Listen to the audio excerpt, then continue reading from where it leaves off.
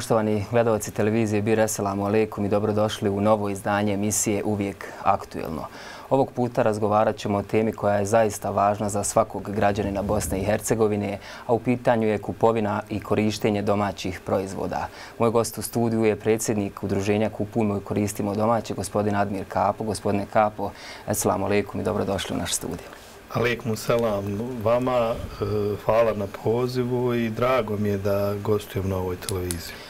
Uh, udruženje Kupujmo i koristimo domaći počelo je sa radom 2005. godine. Koji su ciljevi udruženja i koliko kompanija okuplja?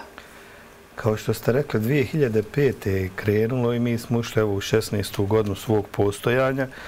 Cilj je bio da prije svega iskristališujemo probleme s kojim se suočavaju naše firme, da što veći broj naših firmi prezentujemo i da što veći broj naših ljudi upozna se. Jer onda kad smo mi to krenuli raditi, vjerujte, procenti prepoznatljivosti naših firmi su bili minimalni iz prostog razloga i u tom periodu, pa da kažem, nešto se popravilo, ali još uvijek nije na onom nivou koji želimo da budemo. Ljudi nisu znali o većini naših kompanija, nisu znali šta se proizvodi. Imali smo jedan problem da recimo firme koje su bile, evo konkretno ovdje van kantona Sarajevo, da nisu mogle onaj, da plasiraju svoje proizvode. Dominacija stranih tržnih centara, bilo je masu problema.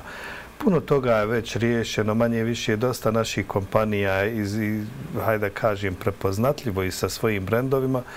E sad nam se valja boriti svakodnevno onaj, sa konkurencijom, uvijek osmišljavati projekte, raditi na njima, približavati taj naš proizvod kupcu i u ovom trenutku udruženje broji preko 600 firmi od onih najmanjih obrta do ovih najvećih, da kažem, već holdinga. Koje su misije i vizije udruženja, evo da kažemo nešto i o tome? Pa da vam kažem, naš cilj je prije svega bilo da pokušavamo objediniti, hajde evo, kroz jedno udruženje što veći broj firmi proizvoda. Konkretno svaki naš projekat je veza za mijenjanje svijesti naših ljudi. Moramo da shvatimo da ova država jedna od najljepših bez ikakvih neki, neki, nekakvih, hajde da kažem, subjektivnih uh, teza. Imamo jako velike i bogate resurse, mislim da možemo to na jedan adekvatan način eksploatisati. Hvala dragom Bogu, mi proizvodimo manje i više sve što nam je potrebno za svakodnevnu upotrebu. E, moramo malo više obrati pažnju kad idemo šta stavljamo u korpu. Tako da su svi naši projekti isključivo vezani za mijenjanje svijesti ljudi, da je narod kupuje domaće proizvode, da koristi usluge naših kompanija, na taj način ostavljamo novac u Bosni i Hercegovini i bivamo bogato, bogato i prosperitetno društvo. E, spomenuli ste svijest naših ljudi prilikom kupovine domaćih e, proizvoda. Koliko je zapravo razvijena svijest? Znaju li ljudi dovoljno? Pa evo da vam kažem, mi smo pravili nedavno neke paralele 2005. i 2020. a vjerujte, ne može se porediti. Znači, koliko razlika je velika, međutim, to još uvijek ni blizu nije tamo gdje želimo stići ima određen broj ljudi, znači jedan poprilično fin procenat ljudi je osvješćen i zna koliko je to važno. Jedan dio ljudi gleda na cijenu.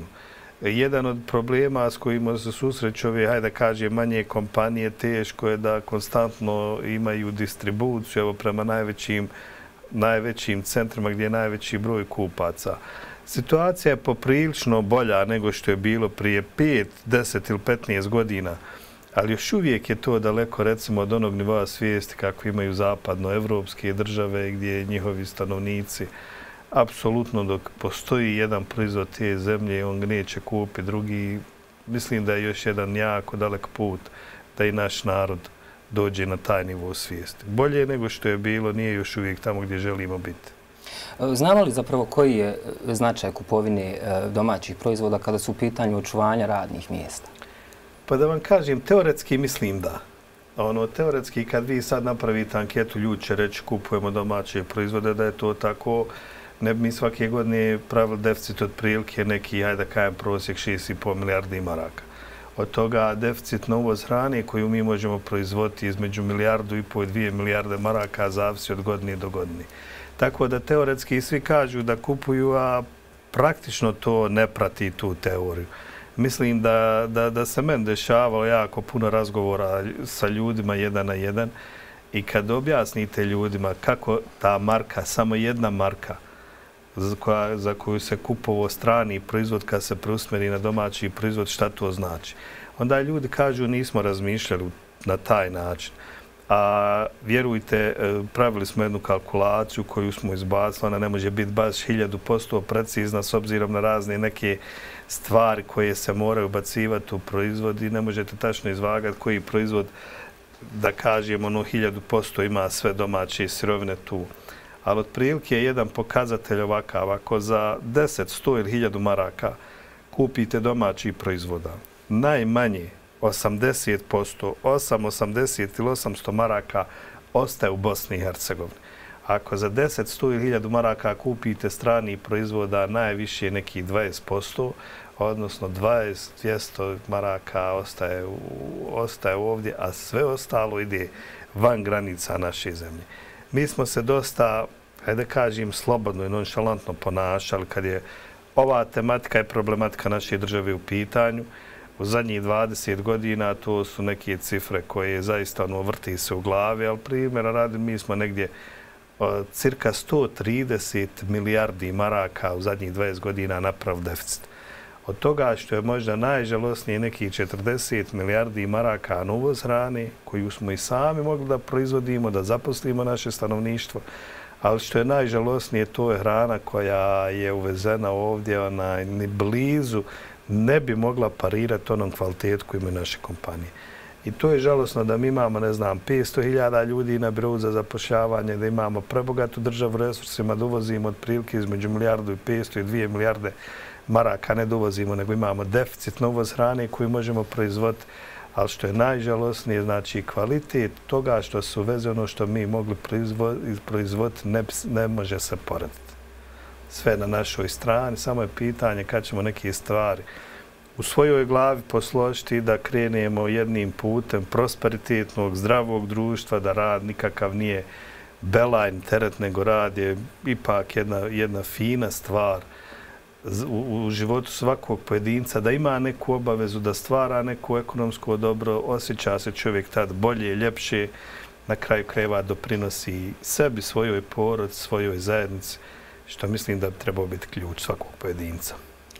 Kupovati domaće proizvode uvijek je važno, pogotovo u, u doba krize ili evo danas pandemije koronavirusa. Da li se uh, kupovina domaćih proizvoda povećala u, u doba pandemije? Pa evo, pokazatelji govori, recimo za prvi šest mjeseci smanjio se uvoz za šest, a izvoz za tri posto, znači neka tri posto smo u prednosti. Mislim da će posle ove pandemije svi koji misli da će se ekonomija vratiti, onako kako je poznamo prije, prije marta mjeseca, ja mislim da, da se varaju. Dešavat će se neke promjene na sceni i mislim da će sve neke stvari koje su do sad bile i na koje se nije žalo davat novac, malo da ispušu, a da se zaista okreni nekim istinskim vrijednostima. Pandemija, ne pandemija, bilo kakav problem ili blagostanje u društvu, ja mislim da kupovna domaćih proizvoda, korištenje usluga naših firmi, da je to nešto što trebala bi biti logika. Znate, živite ovdje, želite da imate bolje zdravstvo, bolje obrazovanje, želite da imate bolji ekonomski standard. E to je jedan od najbržih načina kako se postiži. Jer kad ostavljamo novac između nas da on kruži, onda ga ima dovoljno u prometu i onda se mogu razne stvari koje nam sad fale i kupovati, da kažem, raditi, praviti, A kad vi izvodite novac stalno van granica Bosne i Hercegovine, vi bivate konstantno siromašno društvo. Tako da bi to trebalo biti, ne znam, logika bez obzira na stanje u društvu, jer kako da vam kažem, kad pričate s ljudima, svi, svi kaže da teoretski vole zemlju. A ne znam koliko su ljudi svjesni da svojim postupkom pokazuju da to nije tako. Praktično, ja volio da teoretski svi kažu da ne kupuju, a da praktično to radi. Volio bi da se ta malo teza teorije i prakse zamijeni.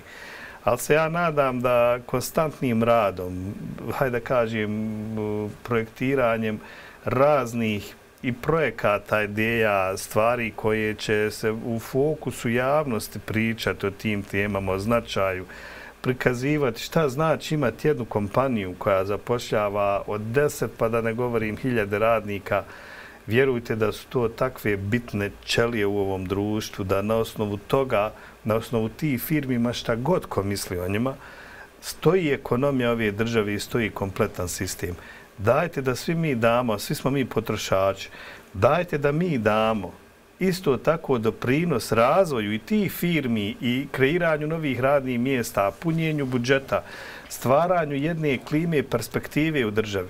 A ne, ne znam, ispade sada u, ovom, u ovim zadnjih nekoliko godina školujemo kadar da bi ga poslali na tržište Zapadne Evrope onako besplatno.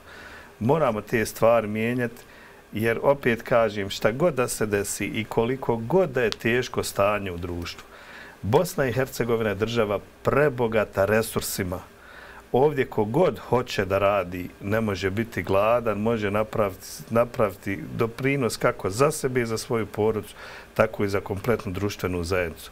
Ali moramo razbiti neke stereotipe u glavi koje pogotovo vozimo iz bivšeg sistema, neki stalni od, radni odnos pa 40 godina ne mijenjati ništa. Mislim da su to stvari koje su prošlost trebamo se okrenuti nekim novim stvarima i kreiranju novih ekonomskih dobara i novih kompanija. Spomenuli ste prije emisije da su ljudi obilazili neka mjesta u Bosni i Hercegovini gdje prije nisu išli. Dakle, pandemija koronavirusa ipak i donijela neke pozitivne stvari kada su u pitanju bosansko-hercegovačka turistička mjesta. Pa dvije stvari koje mislim da je na neki način možda pozitivne, jel? a to je da ja koliko znam da nikad u posljeratnom periodu ljudi nisu više posijali nego ove godine, što je za pohvaliti i mislim da svi trebaju dati podršku. Mnogi ljudi su, evo, dobijam svakodnevno informacije i na kraju krajeva proizveli ne, ne, nekih kultura koji imaju viška za prodati. Mislim da bi svi ljudi trebali koji to mogu da imaju empatije, da podržimo te ljude, da nastavi taj dio jer svaka kultura koja se posijala i koja je rodila, to je novo ekonomsko dobro ove zemlje. S druge strane, kao što ste rekli, dosta ljudi zbog nemogućnosti izlaska van granica BH, znate da su tražili testove koji su bili poprilično skupi, odlučila je da posjećuje destinacije po Bosni i Hercegovini. Vjerujte da je toliko pozitivnih reakcija, da ljudi koji žive ovdje na ovim prostorima 40, 50, 60 godina kaže mi to nismo znali. E, Znam ste sad jednog absurda da neko živi, hajde kažem, dobar dio svog životnog vijeka, da ne zna za neke prirodne ljepote koje su samo pola sata ili sat vožnje od mjesta gdje on živi. I kad uzmete recimo i u školama, djeca nam bolje znaju mjesta od Graca do Makarske nego, nego općine po Bosni i Hercegovini. To je dokaz da ono što mi teoretski kažemo da volimo zemlju praktično nismo pokazali. Počeli smo malo praktično da pokazujemo, uvjeravamo se da u ovoj zemlji ima zaista predivnih mjesta za obići, za odmorti se lijepog šta vidjeti. Ako počnemo, ako počnemo zaista u svojim glavama praviti spisak prioriteta onako kako bi trebao da ide, malo nam treba da ova država zaista ona krene jednim pozitivnim smjerom, jednim putem prosperiteta u svakom pogledu. Ima li šansi da poslije pandemije situacija ostane ista? Da vam kažem ova stvar kako je moje predviđanje, ne kažem da sam u pravu, natiraće mnoge mnogi na razne promjene. Ja se bojim da pogotovo kompletna jedna uslužna djelatnost kroz koju se vrtilo više novca kroz, nego kroz samu proizvodnju, zaista je na koljenima. Ona, ljudi, ljudi su jednostavno o, odlučili da smanje potrošnju, dosta ljudi ostalo bez posla, ne može, nema ništa da troši i počet će, natjerat će silom prilika da mijenjamo neke svoje navike. Ja mislim da ako tu bude političkog razumijevanja, da se usmjeri u neke stvari, konkretno ono što nama fali na tržištu, a mogli bi raditi, proizvoditi, mislim da može to na kraju biti jedna velika šansa, jedna velika prilika za resetovanje sistema koji je do sad bio pokretanje jednog novog pozitivnijeg. Šta će od svega toga biti, vidjet ćemo na mislim da ulazimo malo u neizvjesnu jesen zimu. Koliko će ovo trajati, niko ne zna neke pretpostavke koje ja dobijam informacije sa zapada do jeseni naredne godine. Daj Bože da to prođe što prije, da se, da se nekako ovaj život normalizuje. ali mislim da će, da će dosta ljudi morati mijenjati svoje životne navke, životnu filozofiju, a ja se iskreno nadam da će to biti promjena u jednom pozitivnom i boljem smjeru nego što je do sad bilo. Aktuilna je ovogodišnja kampanja Kupujmo domaće, oslonimo se na svoje koja se pokazala i efikasnom. O čemu se radi? Pa evo to je jedan od, hajde kažem u ovom trenutku, možda je najveći projekat koje udruženje radi. Mi smo nekako sve naše firme, člance e, selektirali na tri nivoa. Ove male porodične firme, obrti i te djelatnosti. Drugi, drugi segment su, hajde kažem, neka srednja preduzeća i ovi velike kompanije, brendovi u tom nekom trećem ciklusu.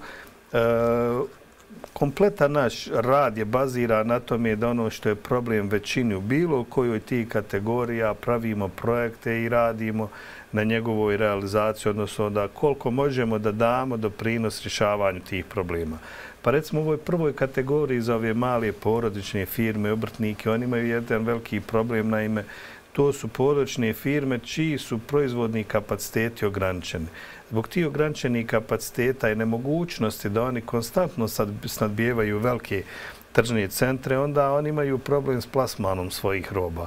Mi smo kao udruženje, zavisno od godine do godine, od 4 do 6, nekad i 7 sajmova godišnje organizovali na nekim atraktivnim destinacijama gdje je velika frekvencija ljudi da bi oni prezentovali to što radi, odnosno dolazili do svojih novih kupaca. I to je bio jedan projekat za te, hajde kaži, mali porodične firme. Kad su u pitanju srednje kompanije, njima pomažemo u onim segmentima što mislim da im fali, a to je malo viši, hajde kažem, viši izdvajanje u marketinjske aktivnosti, promjena dizajna, to neko oglašavanje putem društvenih mreža, ne, ne, neki malo drugačiji pristup PR-u. I za velike kompanije radimo, evo, zadnjih šest godina, ovo je osma, ja mogu slobodno nazvati nacionalna kampanja koja je, ono, emituje se na cijeloj državi, uključeno s firme iz cijele BH, I što me posebno raduje da smo ipak uspjeli da napravimo taj neki kontinuitet, znači u šest godina da, da organizujemo osam uzastopnih kampanja. Prvu smo pokrenuli u, mislim da je to bio april 2015. koja se zvalo Palmo svjetlo u BH, ona išla na proljeće, pa je na jesen iste godine išla Volimo BH. U 2016. također dvije kampanje, onda smo 2017. radili jednu kampanju, radimo kampanje zapravo u kontinuitetu od maja mjeseca do kraja godine. I ove godine, iako su zaista uslovi bili vanredni, bilo jako teško, uspjeli smo da kompletnu kampanju i organizujemo, pokrenijemo bez ikakvih sastanaka, sve je bilo video linkom, mailovima, telefonima. Bilo je jako teško, ali na kraju smo uspjeli. Kao što ste rekli, kupujemo domaće, oslonimo se na svoje kampanja koja je startala 20. maja. Ona ide do nove godine i u različitim vremenskim periodima koristimo različite kanale komunikacije. Na početku smo krenuli sa nekih 40 dana sa TV-om, automatski smo krenuli sa City Lightovima i društvenim mrežama otprilike neka 20. juna, kad već ono počinje sezona godišnji odmora, ide pad televizije, gledanosti televizija, onda smo se preusmerili na bilborde, brandirali smo jedan veliki tramvaj ovdje u Saraju, brandirali smo autobus, pojačali društvene mreže, sad se ponovo u novembar, decembar vraćamo na televiziji, s 31.12. ta kampanja treba biti gotova. U nju učestvuje 14, da kažem, brand kompanija naše zemlje, gdje jednostavno pokušavamo biti prisutni u javnosti, tu taj slogan koji je možda malo istrošen, ali je uvijek posjećano, malo i kad se uspavamo da nas probudi, da staviti domaći proizvod u korpu, ja to više ne smatram nikakvim činom patriotizma, mislim da je to kupovna domaćih proizvoda, korištenje naših usluga, da je to stvar, stvar ekonomskog opstanka. U vašim kampanjama učestvuje veliki broj ljudi. Kako komentaršete? Da li ljudi daju podršku i glumci, ne znam, društveni radnici? Pa da vam kažem, sve to je jedan poprilično kompleksan projekat. Vi morate uključiti, uključen ove godine 14 kompanija. Kad su mediji u pitanju, što, što recimo, ne znam, evo, kroz billboarde, city, lightove, kroz oglašavanje u vozlima grasa, televizije i tako dalje. I tu je negde 14-15 firmi produkcija, kreativa, jako veliki, kako bi rekao, veliki obim ljudi, a vi morate svu poruku da kažete u 30 sekundi. Znate, to, to, to, to je, hajde da kažem, svaki detalj jako bitan. Ono što je jako važno da je to postalo prepoznatljivo, jako bitno za generacije koje dolaze je ona zvijezdica, znak BH kvalitete. Naši ljudi i naši privrednici još uvijek ne shvataju značaj toga, ali sve zapadnoevropske države identitet svog proizvoda su upravo radile na nekom obilježju. I mi imamo svoje obilježje, trebamo ga razvijati da u što većoj mjeri zaživi i kad generacije s tim znakom izrastu, kad ga vidije na proizvodu, onda se nadam da u nekoj budućnosti će ta svijest novih generacija biti na većem nivou i ako Bog da da dočekamo da nam kampanje više ne trebaju. Primjetan je porast izvoza bosansko-hercegovačkih proizvoda. Kakva je budućnost naših proizvoda u svijetu, obzirom da, da, da e, firme imaju težak proces prilikom izvoza? Puno je tu problema, vjerujte, puno je tu problema. Mi se moramo ovdje pripremati za naše domaće tržište, a da uzmijete da smo mi kompletno to tržište poklopili, to je 3 miliona ljudi.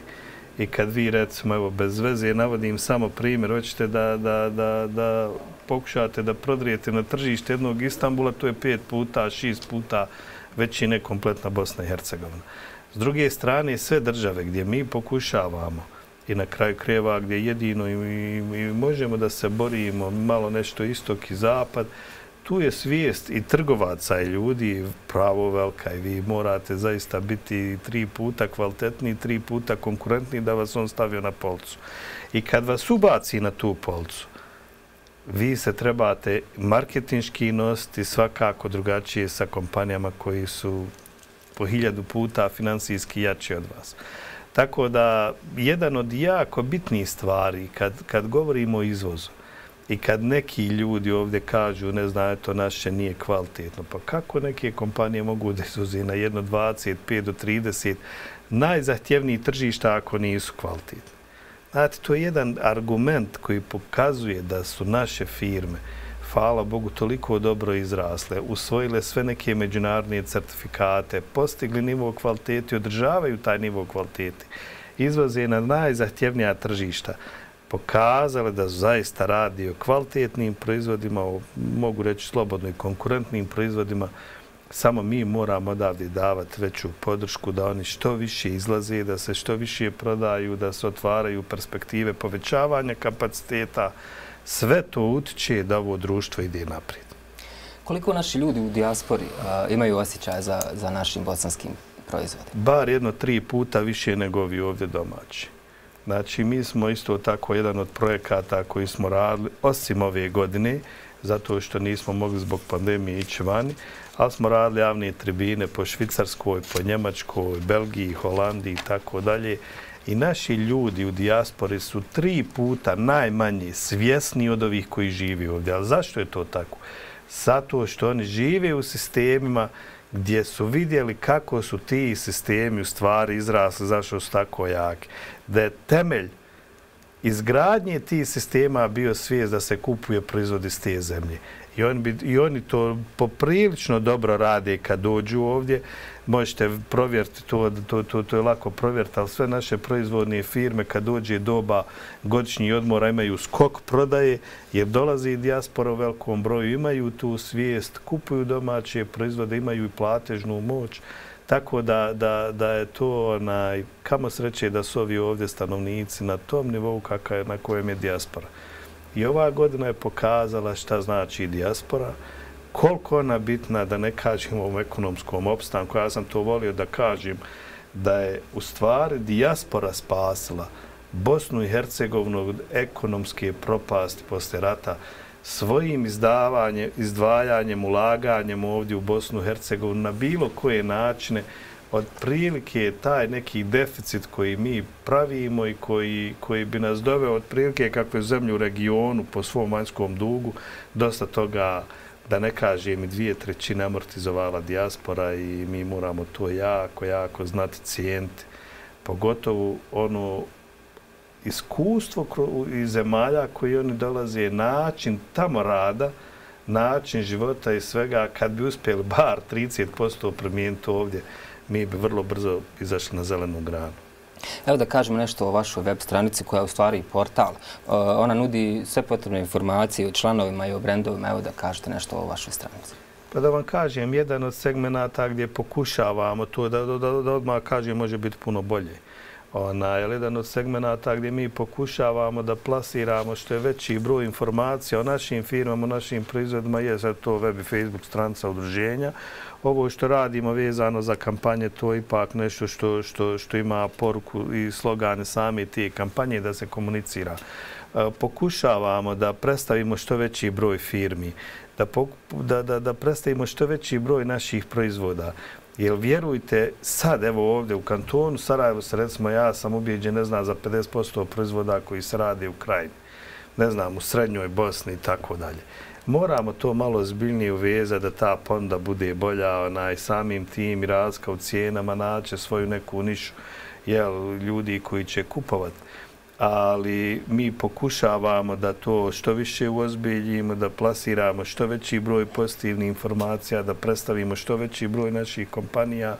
Opet kažem, moglo bi to sve biti puno bolje i ono što nam je jedan od zadataka u budućnosti jeste da mi na neki način postanemo to glasilo naših firmi. E, nedavno isto tako, prije, prije svake kampanje pravimo istraživanje da, da vidimo u kojem smjeru ćemo to komunicirati pokazalo se recimo da, da zaostajemo i u oglašavanju, u marketičkim aktivnostima, posebno mm, smo loši u aktivnostima putem društvenih mreža i to je nešto što između ostalog se pokazalo da naši ljudi misle da se kod ovih konkurentnih firmi konstantno nešto dešava, neki novi proizvodi i tako dalje, dešava se i kod nas, ali smo tu poprilično zakazali.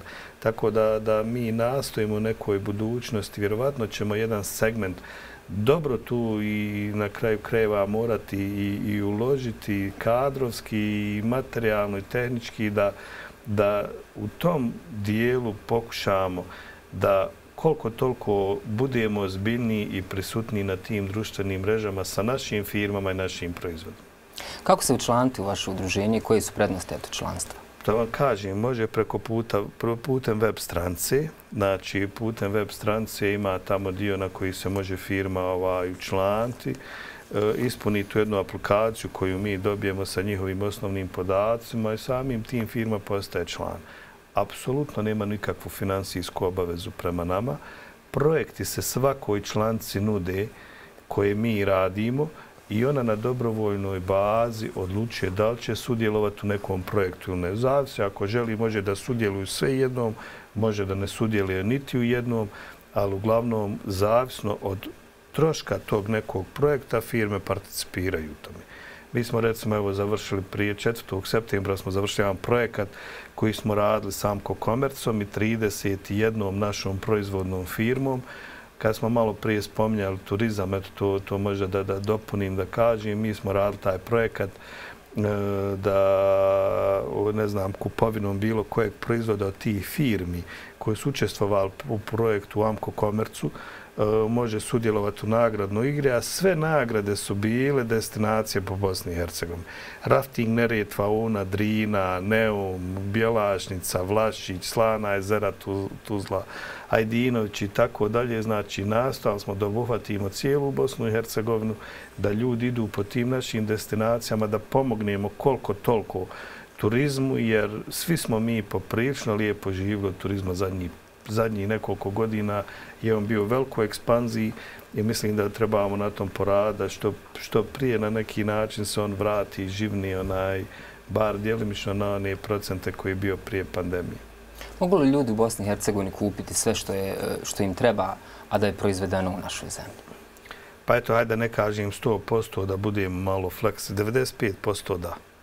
Znači, svih onih namirnica koji koristimo svakodnevno upotrebe, sve ono na neki način što morate u staviti u frižidir, sve se može kupiti u Bosni i Hercegovini. I ono što ljudi kažu, ne znam, kupio sam ovo, ali nije kvalitetno. Mi smo se doveli u tu situaciju da bilo koju industrijsku oblast, vi spomenite, ja ću vam nabrojati najmanje pet firmi. Ako nije kvalitetno od jedne firme, jest od druge, ako nije od druge, jest od pete, ali u svakoj industrijskoj oblasti minimalno je pet firmi koji to proizvode nije, ni, nemoguće da ne nađete što što vam treba, a da nije kvalitetno i cjenovno konkurentno i prihvatljivo za vas. Tako da sve te neke stvari koje su u svakodnevnoj upotrebi što se koriste svaka porodca, mi to manje više proizvodimo. E, naravno, kapaciteti bi mogli puno bolji biti u raznim industrijskim oblastima, jer nemamo sirovina dovoljno. Kad je hemija u pitanju, da kaže mi tu u zadnje vrijeme možemo i tu na neki način zatvrti sve što nam treba je ti kućni potrebština. E ono što bi valjalo i što bi bilo od velike koristi da se malo više pokreni država, ljudi, resursi da se pretvaraju u proizvodnju sirovina za te prerađivačke firme. Fali nam sirovina. Od prilike 80% žitarica uvozimo. Mliječne industrije nam rade možda s jednom trećinom kapaciteta, a mogle bi još da povećaju nema sirovine. Meso, mesne prerađevne, zalhe, dvije, tri sedmice. Znate, to, to je po meni neprihvatljivo u jednoj državi koja ima apsolutno sve mogućnosti ne da proizvodimo samo za svoje tržište, nego da izvozimo te namirnice van granica BiH. Da li je po vama potrebno da u Bosni i Hercegovini postoji trgovina koja će prodavati samo isključivo bosansko-hercegovački proizvod? Pa mi smo tako i pokrenuli ovaj projekat. Znači, projekat je pokrenut tako što smo na Bjelavom otvor prodavno su isključivo domaćim proizvodima. Ali iskreno, to je meni više trebalo da ja zaista vidim šta se proizvodi u Bosni i Hercegovini, koji je to obim proizvodnje, koji što proizvodi šta fali tim proizvodima i tako dalje. Znači, mi možemo to uraditi, nije to sporno. Imate neke stvari gdje, gdje na kraju krajeva u nekim segmentima, evo, da kažem, niko ne proizvodi u Bosni žvake. Jedna ili dvije firme proizvodi bombone. U nekim kategorijama nismo baš ono, hajde da kažem, najbolji. Moglo bi se popraviti ali vi možete sasvim sigurno kad napunite prodavnicu jedno 70-80% domaćih proizvoda i da dopunite tim nekim proizvodima gdje smo mi, hajde da kažem, ono, nedovoljno jaki, vi možete tako praviti ovaj, možda neki novi lanac koji bi to nudio. Ali vam je to sve džaba ako narod nije spreman da ide u taj lanac. Jer ne znam, da li ste pratili u Srbiji kad se Lidl otvaro, to, to, to je ludilo bilo. Znate, to je prilike jedan mentalni sklop našeg naroda na Balkanu. Nekako se sve nečem tuđem više cijeni, radujemo se, poštujemo nego ono što je, što je naše. A ja vam garantujem da ono što mi imamo ovdje sa aspekta zdravlja, garantujem i odgovorno tvrdim da je kvalitetnije nego ono što nam se dovlači u BiH. Spomenuli ste dobru saradnju sa medijima i sa, naravno sa kompanijama. Kakva, kakva je saradnja sa političkim vlastima u ovoj zemlji? Kod mene je konkretno vrlo loša. Da ne kažem nikakva. Ona, evo, kad smo pokretali kampanju, iako uzmite evo, malo, malo samo istražiti u martu mjesecu kad je krenulo ovo sa koronom, sve manje više i svi politički subjekata su govorili kupujmo domaće, to je jedino što nam može pomoći, tako dalje. Mi pokrećemo kampanju i ja upućujem dopise na 11 institucija, raznih ministara, raznih nivoa vlasti, i nikakve apsolutno podrške dobro nismo. Možda je s jedne strane za mene lično to i bolje, ali onaj, politika može da odradi ključnu ulogu ovdje u svemu ovom puno pričaju kako to treba, a apsolutno ništa ne radi da to podrži i pomogu. Kampanja Kupujmo domaće, oslonimo se na svoje podržana od strani svih institucija sa nula KM. Brojni projekti i kampanje su i za vas. Po vama, koja je doživjela najveći odijek i dala najbolji rezultat? Pa da vam kažem, evo, to, to smo nedavno radili jednu, jednu analizu u ovih 15 godina, što manji, što veći projekata, 142 osmišljena i realizovana. I jedno mogu reći veliko iskustvo u svemu tome i za mene. I svaki neki projekat je on drag na, na, na svoj način. U tom momentu je bio značajan, bitan, ali kad bi nešto izdvaju, mislim da, je, da, da sam najsretniji bio kad smo pokrenuli tu prvu kampanju april 2015. jer je bilo nezamislivo da dovedete pet naših ljudi iz isti sto da pričamo o problemu. Ta, u tu kampanju smo uspjeli da, da, da uđe 26 firmi. sa medijima je to išlo preko 40. I ta kampanja je s produkcijske strane, s budžetom i sve je bila ona je puno, puno manja nego ove, ali ona mi je posebno draga, smo probili taj led, pokazali da možemo i mi zajedno djelovati. Ona je imala zaista jedan fenomenalan učinak. Poslije toga su nam išle na ruku iskreno i neke političke odluke susjeda koji su sebi zabijeli autogolove, mi smo to znali iskoristiti. I onda se pokrenula druga kampanja. Tako je krenuo taj niz i mislim da, da ovo što radimo je teško izmjeriti, teško mjerljivo. Ali kad smo, kad smo recimo sad sabrali sve ovo što je urađeno samo kroz ti osam kampanja, bez nekih stvari prije koje smo radili, znam ste kad imate milioni, par stotina hiljada sekundi te poruke u, u glavnim medijima i u nekim, hajde da kažem, najbitnijim terminima, kad imate 53 miliona prikazivanja tih raznih banera sa tom porukom na raznim portalima, kad imate desetine hiljada što plakata, billboarda, city lightova, brandiranih vozila, 100% to ostavlja neki efekat, mijenja postepeno svijest ljudi, kad tad možda će ona pravo da se promijeni, ono, hajde da kažem, u 100% procentu. Ali generalno mislim da su ljudi navikli da neko bar priča o tome, da nađe onu zvijestu na nekom proizvodu, da nađe zvijestu tamo u tržnim centrima gdje je to obilježen domaći proizvod. S tog aspekta mislim da smo, da smo stavili neke temelje.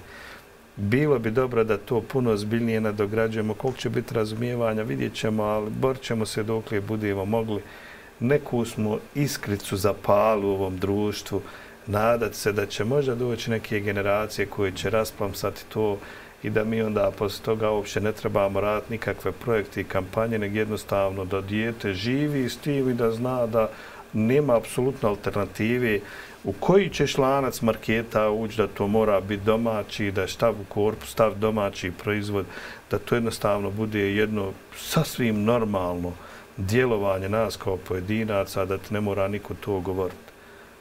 Koji su planovi uh, udruženja aktivnosti za naredni period? Pa da vam iskreno kažem, bilo je jako puno nekih stvari onaj, za ovu godinu, smo se nešto istumbali jel, zbog ove korone. Nažalost, ove godine nismo uspjeli nijedan sajam da organizujemo. Dosta ljudi je nešto proizvelo, pogotovo u mjesenjem periodu i bilo bi jako korisno da se za te ljude obezbijedi, hajde da kažem, neki prostor, lokacija, da, da dođu do svojih kupaca. Mi planiramo, ako bude, pošto sam rekao da su svi naši projekti na dobrovoljnoj bazi, ako bude razumijevanja kompanija i ako bude jel, njima važno da nastavimo, mislim da su kampanje nešto što bi trebali nastaviti. Iz prostog razloga što već osam, osma kampanja, šesta godina, već to neke generacije počinju da rastu. Ako izdržimo još jedan vremenski period da bar jedna tura generacija izraste s tim, mislim da će to biti jedan fenomenalan efekat.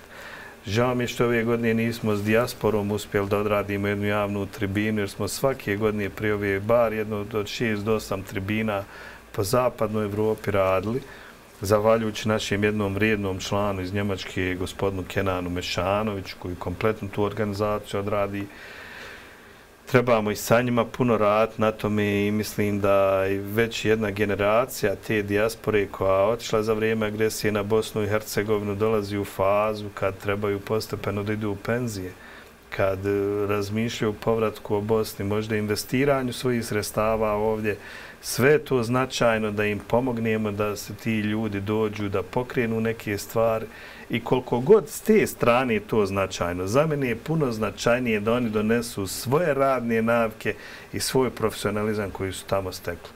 Mislim da će u tom nekom smjeru da ide. Ja lično smatram da se od naredne godine otvara da će što veći broj ljudi krenuti da proizvodi, pogotovo kad je prehrana u pitanju, jer mislim da su neke pretpostavke vezane za uslužne djelatnosti, poprilično onako sumorne da će dosta ljudi tražiti taj neki spas i egzistenciju u proizvodnji, da u tom segmentu mislim da se može raditi jako puno.